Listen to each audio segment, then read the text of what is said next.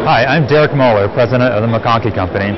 Here we're announcing an expansion of capacity and new sizes for our rEarth product line.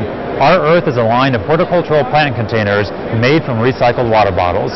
We take in the flake, we turn it into sheet, and we turn it into brand new containers for wholesale growers and retail growers to be able to use in their production. These containers are made of 100% from post-consumer recycled water bottles.